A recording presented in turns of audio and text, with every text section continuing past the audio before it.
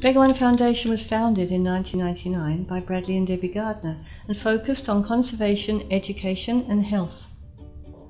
The breeding of the critically endangered Bali starling was its first initiative with a plan to breed and release these birds back into the wild. Poaching and trapping for the pet trade has seen this bird almost brought to the edge of extinction.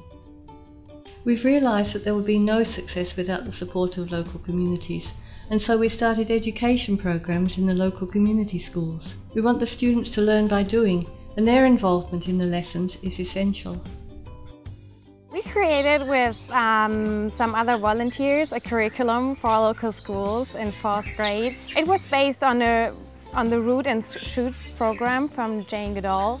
We took the focus on emotion and self-experience to get the awareness of young students about the issue of extinction of the Bali starling. So as one part of our curriculum, it's the student to visit the Begawan Foundation. This is what we are going to do today.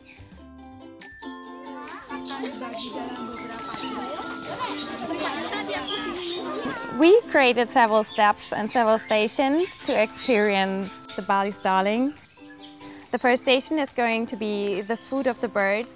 Uh, this is very important to show the students that even birds need to have a lot of variety of food. So they need some proteins, they need vitamins, they need calcium, that they don't eat just food which you can maybe buy in the supermarket.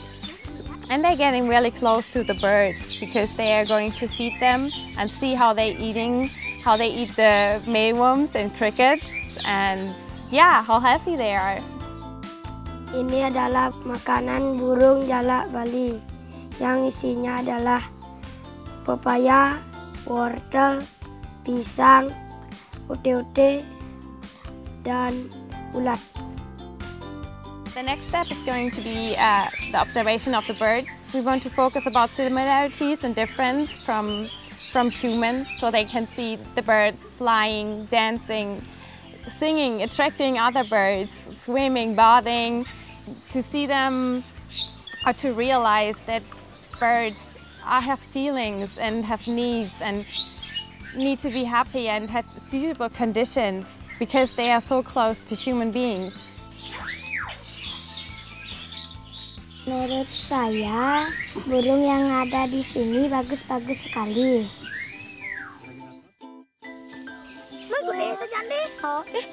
At the last step, they're gonna have a look in the microscope in a laboratory to um, see the difference between a human's hair and bird feathers.